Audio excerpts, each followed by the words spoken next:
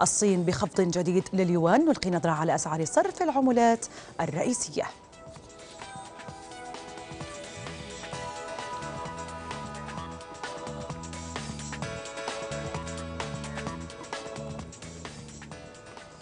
وللتعليق على تطورات الأسواق العالمية ينضم إلينا مباشرة من أبو ظبي كبير استراتيجي الأسواق في اي دي اس سيكيورتيز نور الدين الحموري أستاذ نور نتحدث عن اليابان رغم الخطة الكبيرة التي طبقتها اليابان عام 2012 لإنعاش اقتصادها إلا أننا نراه اليوم ينكمش لأدنى مستوياته ما الأسباب وراء ذلك؟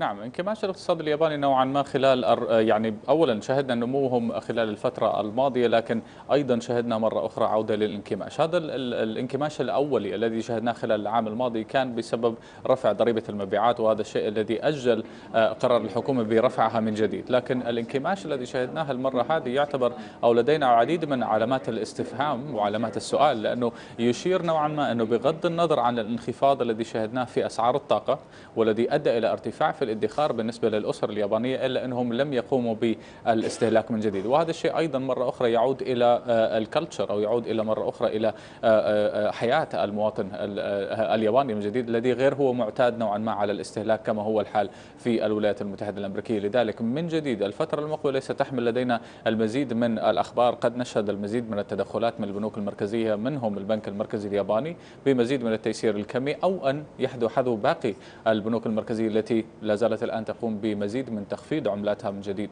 نعم ماذا بالنسبة للبيانات الأمريكية؟ الأمريكية البيانات الأمريكية التي صدرت في الفترة المؤخرة متناقضة. بيانات الإسكان بيانات التوظيف اليوم المؤشر الصناعي. صحيح. لماذا نرى هذا التناقض في البيانات؟ وما مدى تأثيره على الأسواق نور الدين نعم هذا الشيء الذي لا زالت وكنا وكنا نحذر منه في اي دي اس منذ أن تم وقف التيسير الكمي، منذ أن انتهت الأزمة المالية العالمية وحتى اليوم كل ما يتم وقف التيسير الكمي في الولايات المتحدة الأمريكية تعود الأرقام إلى التراجع، حتى إنه إلى الآن وبالرغم من انخفاض أسعار النفط على مدار العام الجاري ومنذ أيضا العام الماضي لم نشهد هذا لم نشهد التأثير الإيجابي لانخفاض أسعار الطاقة على المستهلكين، لذلك في الوقت الحالي يجب متابعة الأرقام بشكل دقيق. الرقم الذي ظهر اليوم نوعا ما هو يعتبر ديستوربنج أو يعتبر رقم غير يعني غير إيجابي بتاتا بالنسبة على الأقل للفدرالي الأمريكي. استمرار الأرقام بالتناقض قد يستمر خلال الفترة المقبلة وهذا الشيء الذي قد يجبر البنك الاحتياطي الفدرالي على تأجيل مرة أخرى لرفع أسعار الفائدة في سبتمبر المقبل. يكمن السؤال الآن أنه معدلات التضخم لا زالت في انخفاض والأرقام تأتي بشكل متناقض وبشكل أكبر نحو السلبية أكثر مما هو مما هو إيجابي. لماذا الفدرالي الفدرالي سيقدم على رفع أسعار الفائدة. وآخر شيء هناك شيء مهم أيضا بالنسبة لرفع أسعار الفائدة. إذا ما نظرنا إلى قطاع قطاع الطاقة في الولايات المتحدة الأمريكية نعم. السندات في هذا القطاع وصلت إلى مرحلة قرب ال defaulting أو قرب مستوى التخلف عن السداد.